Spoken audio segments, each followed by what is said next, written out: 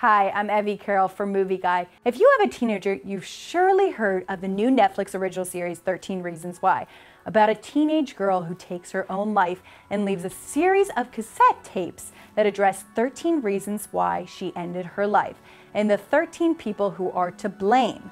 The TV show takes a dark look into the pressure students face in high school, but it also received criticism from media researchers and health professionals for its graphic and almost glamorizing view of suicide. If you're looking for an alternative to 13 Reasons Why, there's a movie that tackles many of the same issues for teenagers, but actually offers a message of hope and healing. It's called I'm Not Ashamed. And I'm going to tell you three reasons I'm Not Ashamed is better for teenagers than 13 Reasons Why. Reason one, I'm Not Ashamed, is a true story that doesn't trivialize tragedy.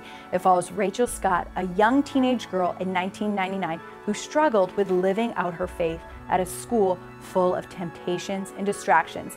The movie takes place before the events of the Columbine school shooting, of which Rachel Scott was the first victim.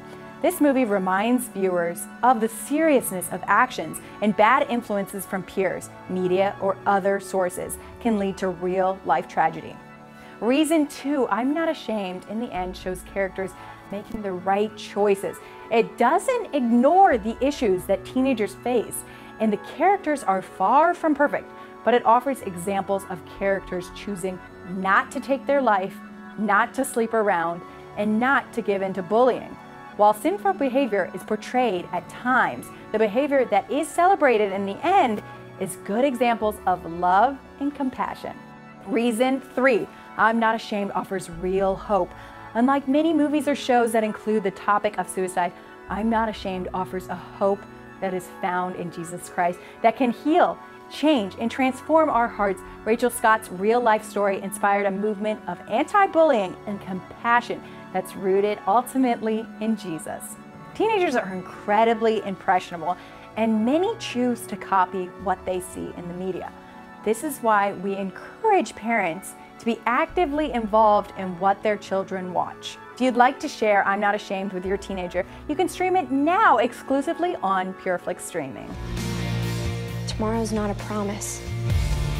You ready? Yeah. There's no easy answer. But I don't think that God wastes anything. Jesus gave his life for me, and I'll give my life to him.